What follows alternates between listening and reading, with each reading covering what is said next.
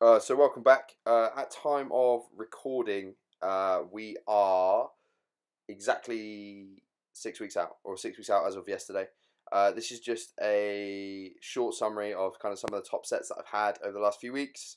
Um, in terms of pain experience and in terms of how I feel, it's a bit strange uh, now. It's kind of evolved somewhat and become more of a uh, a speed or a volume driven pain experience. Um, the other times that I'm most well, the times that I'm mostly experiencing pain, kind of in this like right QL up the erector group, kind of in, into my spinal erectors and kind of up into the bottom of my lats is as I unlock my hips or as I deload my spine at the top of a deadlift, so you'll see that I'm not putting the deadlifts down in the same manner I might have done before.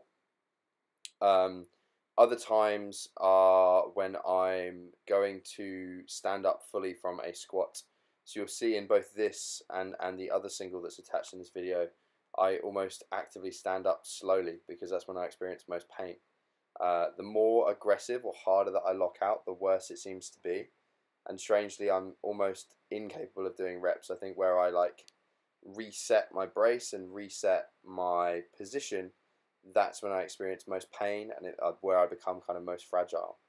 Frustratingly, too, my bench this week in particular has just hasn't felt there. Both my pec and shoulder, pec on the left and shoulder on the left, uh, just felt really, really terrible. So the week before this week had had seen some pretty good pressing. Um, 137 for some easy fours, 150 I think I saw in a week or so there, uh, and it's just a little bit all over the place.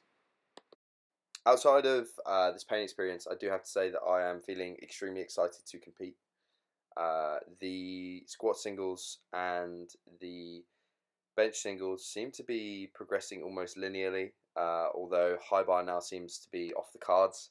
I think it's due to the extended pattern and nature of high bar, potentially is what's kind of aggravating my hip and lower back but I have to say that overall it's improving.